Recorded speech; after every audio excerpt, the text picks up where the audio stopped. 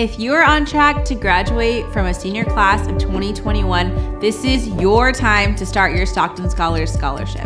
Higher education can move us forward as a community, creating opportunities to grow, pursue your passions, bring stability, and create the Stockton we all want to see. Stockton Scholars has awarded more than $1 million in scholarships to more than 1,100 students, and today you can be the next one.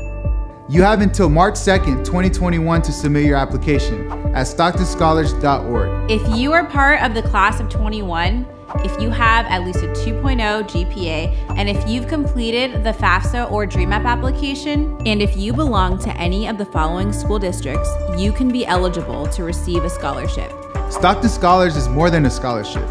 It is a family made up of students, staff, and community who help each other succeed in higher education. We are committed to creating a college culture here in Stockton. Make sure to submit your application by March 2nd to be eligible for up to $4,000 for attending a four year college or university and up to $1,000 for attending a community college or trade school.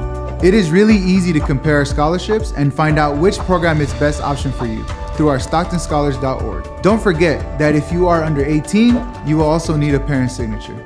To see what scholarship you qualify for, please visit Stockton Scholars org or call us at 209 800 8780. We are here to help you. Together, we will make a greater and positive impact in the community we live in, in the country we live in, and hopefully in the world that we live in today. Apply today and get one step forward to attaining your higher education dreams.